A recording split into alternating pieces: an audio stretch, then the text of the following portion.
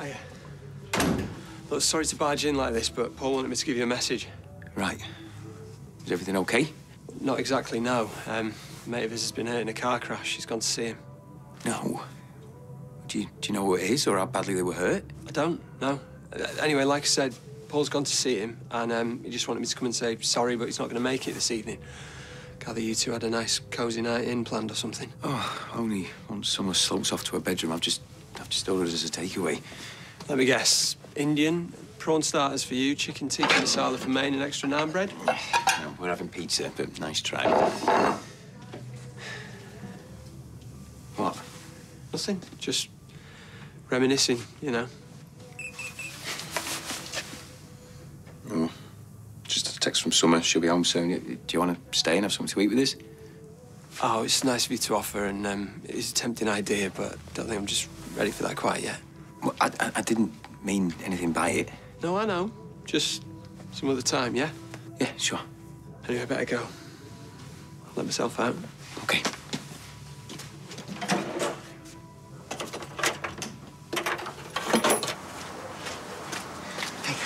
Are you okay? Uh, You, you hurt anywhere?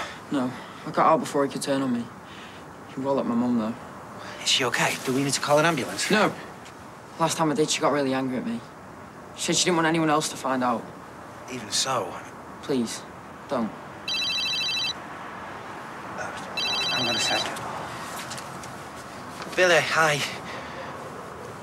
Yeah, I'm really sorry about cancelling. Did Todd tell you? Yeah, I'm at the hospital now. Um, no, I, I think he's a bit more shaken up than anything. But listen, um, I'm gonna have to go. Uh, I'll see you later. Love you. Bye. Sorry for calling. I don't want to get you in trouble again. It's just, I didn't know what to do, and I was dead scared, and... Look, the main thing is you're safe. Was he drunk? Yeah, for a change. Look, it sounds like he's getting worse. I know you're not keen, but I really think it's time we report this to the police or social services. No, I don't want anyone else to find out.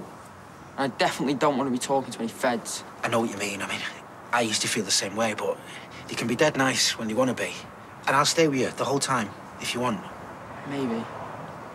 Can we just hang out for a bit first, though? I could get some chicken. If not, my tea. Nah, me neither. Okay, chicken it is. And then police station. Sure. Good lad.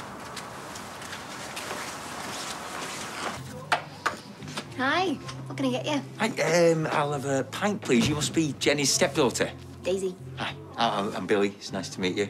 She's got you earning your keep already, has she? I'm just covering while they spend some time together. They're getting in as many date nights as possible before Johnny's sentencing. Yeah, of course. How is Johnny? Johnny. Well, it's Jenny I feel sorry for. I'm not sure why she's standing by him. What kind of person does something so terrible and just keeps it to themselves all these years? A human being who made a terrible mistake. I'll have one of them all, too. Thanks. I wasn't lying. For once. Heard from Paul? Yeah, I, um, I spoke to him a bit ago. I just said I'll, I'll see him when I see him. So now you're drowning your sorrows. Alone. Hardly. You know, Summer's at her mates, and I'd cleared my schedule to see Paul, so I thought I might as well leave the flat. Shame Paul had to drop everything. Yeah, no, know, proud of him, putting his mate first. Yeah, he's, um, he's come a long way since we first met. He always brought the best out in people. Yeah, Yeah. definitely had my work cut out where you were concerned.